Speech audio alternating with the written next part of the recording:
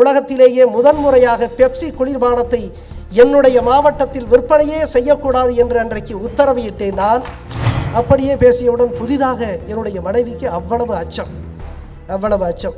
உடனே இறுதியாக சொன்னேன் நீ இரவு பெட்டி படுக்கையெல்லாம் தயார்படுத்தி கொண்டு ரெடியாக இரு என்று சொன்னேன்.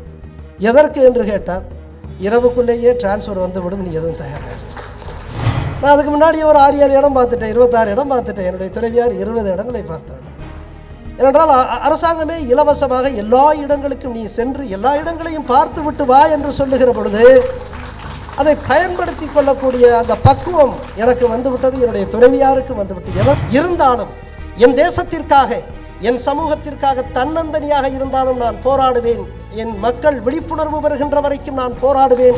ஏதோ சாதாரணமாக மதுரைக்கு வர வேண்டும். ஏதோ திருச்சிக்கு வர வேண்டும் ஏதோ கோயாமுத்தூருக்கு வர வேண்டும் என்று சொல்லுவதைப் போல சொன்னார்கள். எனக்கு தெரியும் இந்த அரசியலிலே ஊழல் எவ்வளவு ஆழமாக அது வேரூன்றி இருக்கிறது என்பது எனக்கு தெரியும். எனக்கு தெரியும். அரசியலுக்கு வர வேண்டும் என்று சொல்லுகிறீர்களே என்றைக்கு ஊழலை நான் எதிர்க்கிறேனோ அன்றைக்கே நான் அரசியலில் இருக்கிறேன் என்றுதான் பொருள் நான் அதிகாரியாக இருக்கலாம். I am a proud son of a proud farmer who is feeding you all என்று நான் இருமாப்போடு சொல்லுவேன் காரணம் எனக்கும் இந்த நிலத்திற்கும் என் மண்ணிற்கும் உள்ள அந்த உணர்வு பூர்வமான அந்த உறவை நான் ஒரு காலம் அருந்து போக விடுவது இல்லை எம்முடைய வல்லரசு என்பது வான்வெளி ஆய்வுகளிலே இல்லை. எம்முடைய வல்லரசு தொடங்கப்பட வேண்டிய இடம் வயல்வெளி என்று நான் நம்புகிறேன். எம்முடைய வல்லரசு ஏவுகணையில் இல்லை இது ஏர்முனையில் இருக்கிறது என்று சொல்லிக்கொள்ள நான் ஆசைப்படுகிறேன்.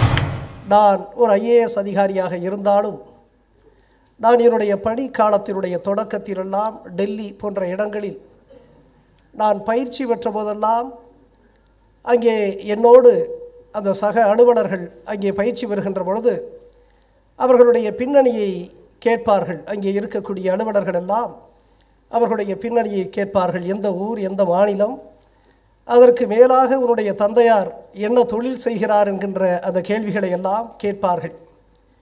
அப்பொழுது என்னுடைய சக அலுவலர்கள் எல்லாம் அவர்கள் வாட்ஸ் ஓ ஃபாதர் என்ற கேள்விக்கு my father is an engineer my father is a doctor my father is a scientist my father is an IPS officer my father is a businessman என்றெல்லாம் இருமாப்போடு சொல்லுவார்கள். நான் அப்பொழுது நான் அப்பொழுது அங்கே இருப்பேன்.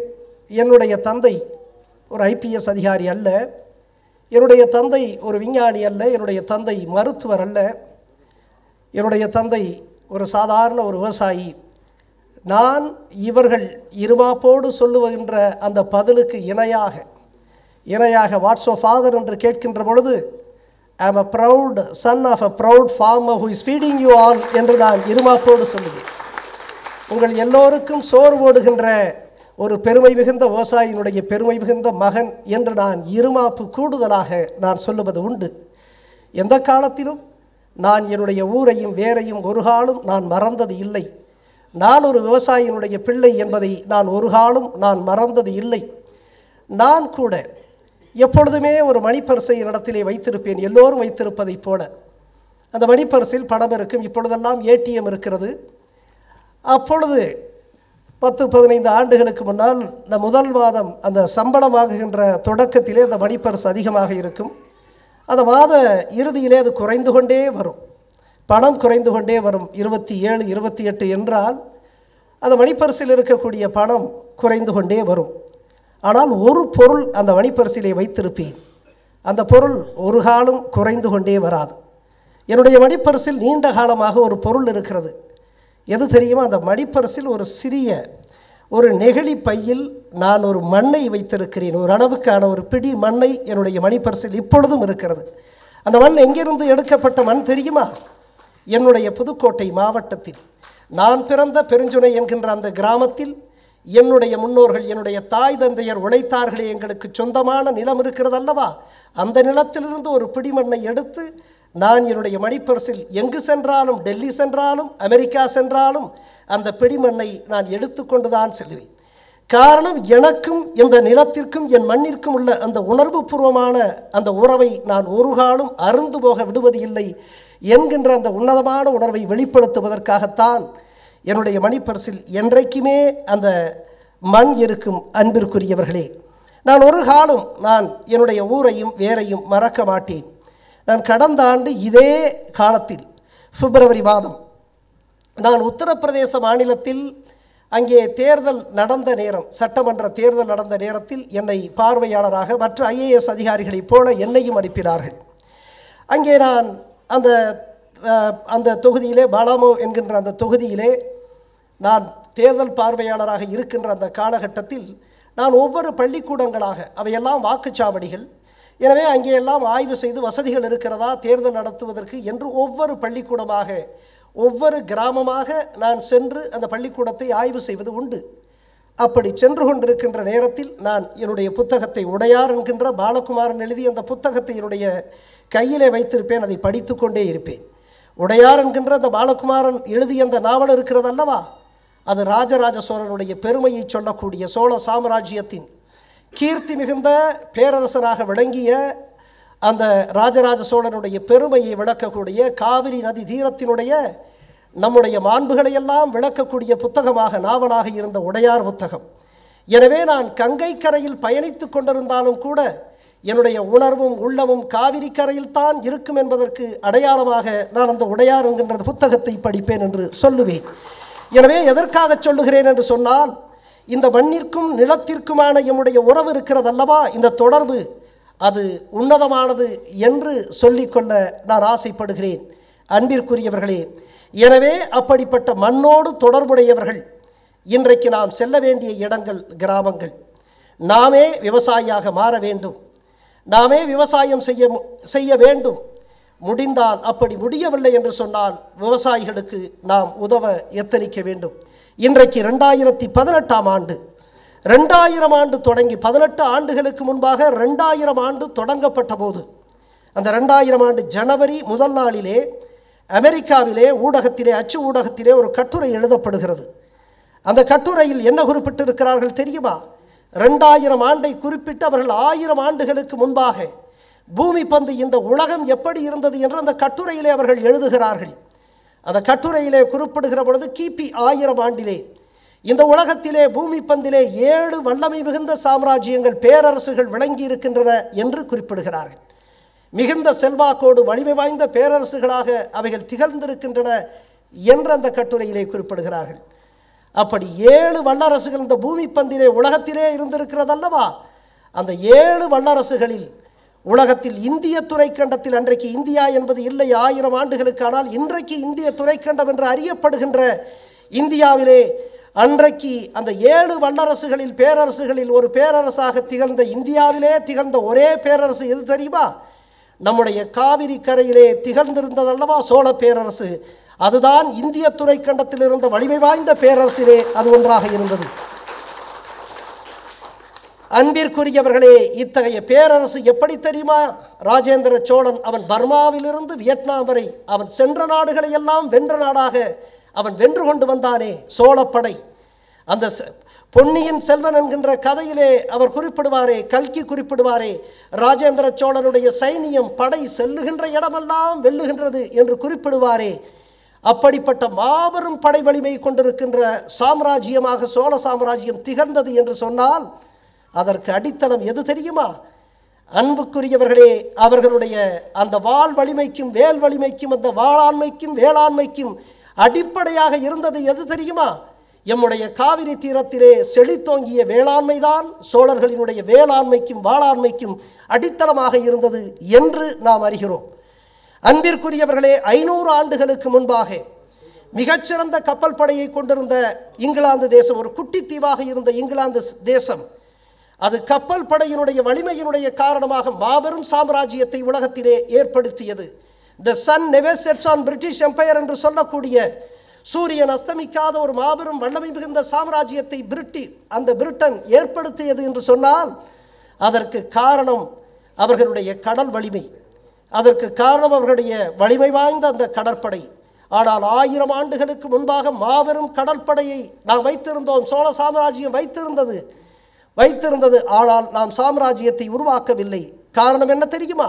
அன்பிற்குரியவர்களே இவர்கள் இங்கிலாந்து வைத்திருந்த கப்பற்படை அவர்களுடைய வணிக நோக்கங்களுக்காக வணிகத்திலிருந்து புறப்பட்ட கப்பற்படை. அது சூழ்ச்சியையும் மோசடியையும் சூதுவையும் அது கையாண்டு அது சாம்ராஜ்யத்தை உருவாக்கியது. ஆனால் சோழ சாம்ராஜ்யத்தினுடைய கடற்படை அது வேளாண்மையிலிருந்து விவசாயத்திலிருந்து புறப்பட்ட கடற்படை. அங்கே சூழ்ச்சி இல்லை வேளாண்மையிலே சூழ்ச்சி இல்லை. அங்கே அது வணிகத்திலே உள்ள மோசடி இந்த வேளாண்மையிலே இல்லை. அங்கே அறம் இருந்தது. அதனால்தான் ராஜேந்திர சோழன் அவன் பர்மா முதல் வியட்நாம் வரை வென்றபோது கூட தன்னுடைய புலிக்கொடியை அவன் ஒரு காலம் பரப்பவில்லை. காரணம் அவன் அந்த வேளாண்மையிலிருந்து அறத்திலிருந்து உருவாக்கப்பட்ட படை என்கின்ற காரணத்தினால் அவன் செல்லுகின்ற இடத்தில் வென்ற இடத்தில் தன் புலிக்கொடியை நாட்டவில்லை. அன்பிற்குரியவர்களே எதற்காக சொல்லுகிறேன் என்று சொன்னால் யாரெல்லாம் வணிகம் செய்கிறார்களோ அவன் சூதும் சூ- சூழ்ச்சியும் மோசடியும் மிகுந்தவனாக இருக்கிறான். அவன் ஆளுகிறான். ஆனால் விவசாயம் என்பது அறத்தை அடிப்படையாக கொண்டது. எனவே அத்தகைய அறத்தை அடிப்படையாக கொண்டிருக்கக்கூடிய விவசாயத்தை நாம் போற்றுவோம். ஒவ்வொருவரும் நாம் விவசாயியாக மாறுவோம். நம்முடைய நண்பர் ஆரியனுடைய இந்த அரிய முயற்சி உள்ளபடியே என்னுடைய உள்ளத்தை தொடுகிறது. எனவே இந்த முயற்சிக்கு நாம் துணையாக இருப்போம். இறுதியாக சொல்லி வாய்ப்பு கிடைக்கின்ற பொழுது வாய்ப்பு கிடைக்கின்ற பொழுது நீங்கள் விவசாயிகளுக்கு உதவுங்கள். நாங்கள் கூட மக்கள் வாதை என்கின்ற ஒரு அமைப்பை வைத்து கலப்பை என்கின்ற அந்த திட்டத்தின் மூலமாக விவசாயிகளிடத்திலிருந்து பெறக்கூடிய அவர்கள் செய்யக்கூடிய அந்த உற்பத்தி பொருளான அந்த காய்கறிகளை நாங்கள் வாங்கி கொண்டு வந்து சென்னை பெருநகரத்தில் பல இடங்களில் அங்காடிகளை திறந்து நாங்கள் விற்று கொடுத்ததிலே கிடைக்கக்கூடிய லாபத்தை எம்முடைய விவசாயிகளுக்கு திருப்பி கொடுக்கிறோம். அந்த வேலையை நாங்கள் செய்து கொண்டிருக்கிறோம். எனவே நான் சொல்லிக் கொள்வதெல்லாம் மீண்டும் மீண்டும் சொல்லுகிறேன். நான் மாவட்ட ஆட்சித்தலைவராக இருந்த பொழுது நான் அடிக்கடி செல்லக்கூடிய இடம் எம்முடைய கிராம பகுதிகள். நான் கிராமங்களை உளமாற நேசிக்கிறேன். இந்தியா லிவ்ஸ் இன் வில்லேஜஸ் என்று சொல்லுகிறார்களே the farmers are the backbone of this country என்று சொல்லக்கூடிய அந்த விவசாயிகள் தான் இந்த தேசத்தினுடைய முதுகெலும் என்று சொல்லக்கூடிய இந்த நிலை உண்மையாக இருக்குமானால் இந்த தேசத்தில் விவசாயிகள் மதிக்கப்பட வேண்டும். என்னை பொறுத்த வரைக்கும் வல்லரசு கனவு வல்லரசு கனவு என்று சொல்லுகிறவர்கள் மோசடி செய்கிறார்கள் என்று நான் நம்புகிறேன். எம்முடைய வல்லரசு என்பது எம்முடைய எம்முடைய வல்லரசு என்பது வான்வெளி ஆய்வுகளிலே இல்லை. எம்முடைய வல்லரசு தொடங்கப்பட வேண்டிய இடம் வயல்வெளி என்று நான் நம்புகிறேன். எனவேதான் நான் சொல்லுகிறேன். அது எம்முடைய வல்லரசு எம்முடைய வல்லரசு ஏவுகணையில் இல்லை. இது ஏர்முனையில் இருக்கிறது என்று சொல்லிக்கொள்ள நான் ஆசைப்படுகிறேன். எனவே ஒரு மாபெரும் வல்லரசாக இந்த தேசம் எழ வேண்டும் என்று சொன்னால் நம்முடைய நண்பர் நம்முடைய தம்பி ஆரி அவர்களுடைய இந்த அரிய முயற்சியைப் போல எல்லா இடங்களிலும் தொடங்க வேண்டும் என்று ஆசைப்படுகிறேன். எனக்கு கூட இன்றைக்கு கூட நம்முடைய இயக்குனர் அன்பிற்குரிய சகோதரர் அமீர் அவர்கள் கூட சொன்னார்கள் நீங்கள் எல்லாம் வர வேண்டும் என்று சொன்னார்கள். ஏதோ சாதாரணமாக மதுரைக்கு வர வேண்டும் ஏதோ திருச்சிக்கு வர வேண்டும் ஏதோ கோயாமுத்தூருக்கு வர வேண்டும் என்று சொல்லுவதைப் போல சொன்னார்கள். எனக்கு தெரியும் இந்த அரசியலிலே ஊழல் எவ்வளவு ஆழமாக அது வேரூன்றி இருக்கிறது என்பது எனக்கு தெரியும். எனக்கு தெரியும். எனக்கு தெரியும். இதை அறுத்தறிய வேண்டும் என்று சொன்னால் மாபெரும் வல்லமையை கொண்டவர்களால் முடியும். அத்தகைய வல்லமையை என் சமூகத்திடமிருந்து தான் நான் பெற முடியும். எனவே என்னுடைய சமூகம் நான் எதிர்பார்க்கிறேன். என்னுடைய சமூகம் என்றைக்கு விழிப்பு பெறுகிறதோ அன்றைக்கு வல்லமை பெறுகிறது என்று நான் நம்புகிறேன். நிச்சயமாக என்னுடைய சமூகம் விழிப்பு பெறும் என்ற நம்பிக்கை எனக்கு இருக்கிறது. இன்றைக்கு கூட நீங்கள் சொல்லுகிறீர்கள் அரசியலுக்கு வந்துவிட்டீர்கள் என்று அரசியலுக்கு வர வேண்டும் என்று சொல்லுகிறீர்களே என்றைக்கு ஊழலை நான் எதிர்க்கிறேனோ அன்றைக்கே நான் அரசியலில் இருக்கிறேன் என்றுதான் பொருள். நான் அதிகாரியாக இருக்கலாம். அதிகாரியாக இருக்கலாம். அது வேறு. சட்டதிட்டங்களுக்கு உட்படுத்து உட்பட்டு செயல்பட வேண்டும் என்பது வேறு. ஆனால் என்றைக்கு ஒரு மனிதன் இந்த அரசு இயக்கங்களில் உள்ள ஊழலை எதிர்க்கிறானோ அன்றைக்கே அவன் அரசியலில் தான் இருக்கிறான் என்பது பொருள். எனவே அது தேர்தல் அரசியலா என்பதை என் சமூகம் முடிவு செய்யட்டும். என் சமூகம் அது முடிவு பெறுகின்ற பொழுது என்னுடைய சமூகம் விழித்தழுகின்ற பொழுது அது நிச்சயமாக அது முடிவெடுக்கும். எனவே இந்த சமூகத்தை உளமாற நேசிக்கிறேன். இறுதியாக ஒன்றை சொல்லுகிறேன். இன்றைக்கு கூட நம்முடைய இந்த புட்டியில் அடைத்து விற்கக்கூடிய இந்த உணவுப் பொருட்கள் பண்டங்களை எல்லாம் சொன்னார்கள். உங்களுக்கு இறுதியாக ஒன்றை சொல்லிக் கொள்கிறேன். ஆயிரத்தி தொள்ளாயிரத்தி தொண்ணூற்றி ஒன்பது அக்டோபரிலே அக்டோபரிலே காஞ்சிபுரம் மாவட்டத்தில் காஞ்சிபுரம் மாவட்டத்தில் ஒரு அலுவலரிடத்திலே சம்பத் முதலியார் என்கின்றவர் அவர் ஒரு புகாரை அளிக்கிறார். அந்த புகாரிலே புகாரை அளிப்பவர் ஒரு புட்டியை கொடுக்கிறார் சாஃப்ட் ட்ரிங்க் பாட்டில் அதிலே பாருங்கள் ஒரு புகை மண்டலம் ஒரு புகை படலம் மேலிருந்து கீழாக இருக்கிறது. இது ஒரு மிகப்பெரிய பன்னாட்டு நிறுவனம் தயாரித்த தயாரித்த ஒரு குளிர்பானம் பாருங்கள் எவ்வளவு மோசமாக இருக்கிறது என்று சொல்லுகிறார். உடனே அந்த அலுவலர் அன்றைக்கே பேருந்து நிலையத்தில் ஆய்வு செய்கிறார். அதற்கு பிறகு அவர்களுடைய கிடங்கிலே ஆய்வு செய்து இது போன்ற இது போன்ற குப்பிகளை பாட்டிலை எடுக்கிறார். பாட்டிலை எடுக்கிறார். எடுத்தால் இது போன்ற அந்த புகைப்படலம் அதிலே வெந்த பருக்கை சோறு இருக்கிறது. அதையெல்லாம் எடுத்து ஆய்வுக்கு செய்து கிங் இன்ஸ்டிடியூட் அன்றைக்கு இங்கே கிங் இன்ஸ்டிடியூட் இருக்கக்கூடிய கிண்டியிலே இருக்கக்கூடிய அந்த ஆய்வகத்துக்கு அனுப்புகிறார். ஆய்வகத்தினுடைய முடிவு இதை these soft drinks are not fit for human consumption என்று வருகிறது. அப்படி வருகக்கூடிய ஒரு சூழ்நிலையில் இரண்டு மூன்று மாதங்கள் அவர் ஆய்வு செய்கிறார் விசாரணை செய்கிறார். இறுதியாக அந்த பன்னாட்டு நிறுவனத்தை எட்டு பூட்டுக்களை போட்டு பூட்டி இழுத்து மூடுகிறார். அந்த மூடிய அலுவலர் தான் இன்றைக்கு உங்களுக்கு முன்னாலே பேசிக்கொண்டிருக்கக்கூடிய இந்த அலுவலர். அந்த மூடப்பட்ட நிறுவனம் மூடப்பட்ட நிறுவனம் எது தெரியுமா? மிகப்பெரிய இந்த உலகத்தினுடைய ப இரு பன்னாட்டு நிறுவனங்கள். There there there are two giant soft drink companies across the globe என்று சொல்லக்கூடிய இரண்டு இரண்டு பன்னாட்டு வலிமை வாய்ந்த பன்னாட்டு நிறுவனங்களில் ஒன்றாக விளங்கக்கூடிய பெப்சி அன்றைக்கு பெப்சி எம்மால் இழுத்து மூடப்பட்டது. எம்மால் எழுத்து மூடப்பட்டது. அது மட்டுமல்ல உலகத்திலேயே முதன்முறையாக பெப்சி குளிர்பானத்தை என்னுடைய மாவட்டத்தில் விற்பனையே செய்யக்கூடாது என்று அன்றைக்கு உத்தரவிட்டேன் நான். எதற்காக சொல்லுகிறேன் என்று சொன்னால் இன்றைக்கு வேலைக்காரன் அற்புதமான படத்தை எடுத்திருக்கிறார் நம்முடைய இயக்குனர் மோகன்ராஜ். தம்பி சிவகார்த்திகேயன் அற்புதமான வெளிப்பாடு. நான் உளமாற தமிழ் சமூகத்தின் சார்பாக உமக்கு நன்றியை தெரிவித்துக் கொள்கிறேன். நிச்சயமாக நிச்சயமாக. இந்த சமூகத்தை சிந்திப்பவர்களுக்கு மிகச்சிறந்த எதிர்காலம் இருக்கிறது என்று நான் கருதுகிறேன். பணம்தான் எதிர்காலம் என்று எண்ணுபவன் முட்டாள் என்றுதான் நான் சொல்லுவேன். எனவேதான் நான் இடத்திலே பணம் அதிகமாக இல்லை. ஆனால் நான் இந்த சமூகத்தில் மிகப்பெரிய வலிமையை பெற்றவனாக நான் எண்ணிக்கொள்வது உண்டு. காரணம் இந்த சமூகத்தை நான் உளமாற நேசிக்கிறேன். எனவே இந்த சமூகத்தை உளமாற நேசிக்கக்கூடிய நீங்கள் உயர்ந்தவர்கள் உயர்ந்த கலைஞர்கள். எனவே நீங்கள் குறிப்பிடுகின்ற இந்த இந்த உணவு உணவு வணிகம் இருக்கிறது அல்லவா அது மிகப்பெரிய அரசியல் இருக்கிறது.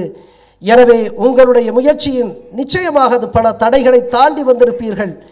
ஏனென்றால் நான் இந்த பெப்சி ஆலையை இழுத்து மூடியதற்கு பிறகு அன்றைக்கு நான் பட்ட அவதி இருக்கிறது அல்லவா நான் பட்ட அவமானம் இருக்கிறது அல்லவா அன்றைக்கு நான் இழுத்து பூட்டு போடி விட்டு நான் அந்த பக்கம் அது மாமண்டூரிலே இருக்கிறது. எத்தனை பேருக்கு தெரியும் என்று தெரியவில்லை. தமிழகத்திலே இரண்டு இடங்களிலே இருக்கக்கூடிய குளிர்பான ஆலைகள் அன்றைக்கு. ஒன்று மதுரையிலே சமயநல்லூருக்கு அருகே இருக்கக்கூடிய பறவை என்கின்ற இடத்தில் இருக்கக்கூடிய உற்பத்தி ஆலை. இன்னொன்று காஞ்சிபுரம் மாவட்டத்தில் செங்கல்பட்டு மதுராந்தகத்திற்கு அருகே இருக்கக்கூடிய மாமண்டூருக்கு மாமண்டூரில் இருக்கக்கூடிய குளிர்பான ஆலை. அந்த ஆலையைத்தான் நான் மூடினேன். மூடிவிட்டு அன்றைக்கு பகல் பன்னெண்டு ஒரு மணி இருக்கும் நான் அப்படியே சென்று விட்டேன். செய்யூர் பகுதிகளிலே நான் சென்று நம்முடைய ரேஷன் கடைகளை எல்லாம் ஆய்வு செய்துவிட்டு இரவு எட்டு மணிக்கு திரும்புகிறேன். திரும்பி வந்து பார்த்தால் என்னுடைய துணைவியார் அப்பொழுது தான் நான் திருமணமாகிய புதிது என்னுடைய துணைவியார் என்ன செய்து விட்டீர்கள் என்று சொன்னார். ரொம்ப பதட்டத்தோடு என்ன செய்து விட்டீர்கள் என்ன செய்தீர்கள் என்று கேட்டார். ஒன்றும் இல்லை.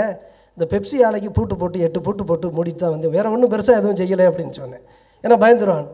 ஏனென்றால் அன்றைக்கு நான் இல்லாத நேரத்திலே அன்றைக்கெல்லாம் அலைபேசி எல்லாம் இவ்வளவு இல்லை. அன்றைக்கு தலைமைச் செயலர் பேசியிருக்கிறார் தொழிற்செயலர் பேசியிருக்கிறார் உள்துறை செயலர் பேசியிருக்கிறார். முதலமைச்சர் அலுவலகத்தில் உள்ள செயலர்கள் எல்லாம் பேசியிருக்கிறார் கலெக்டர் தொடர்ந்து பேசுகிறார் இவர் இங்கே போய்விட்டார் என்று. அப்படியே பேசியவுடன் புதிதாக என்னுடைய மனைவிக்கு அவ்வளவு அச்சம் அவ்வளவு அச்சம்.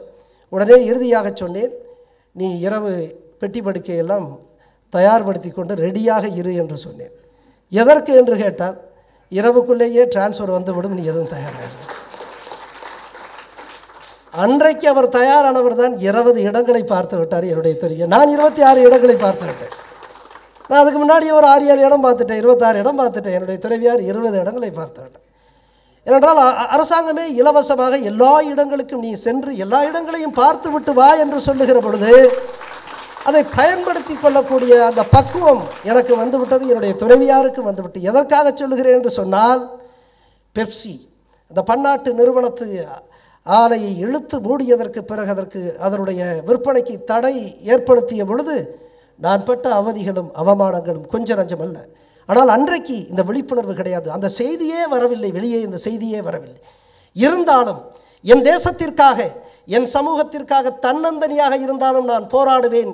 என் மக்கள் விழிப்புணர்வு வருகின்ற வரைக்கும் நான் போராடுவேன் என்கின்ற அந்த உள்ளத்தினுடைய ஆதங்கத்தில் அன்றைக்கு நான் செய்தேன்.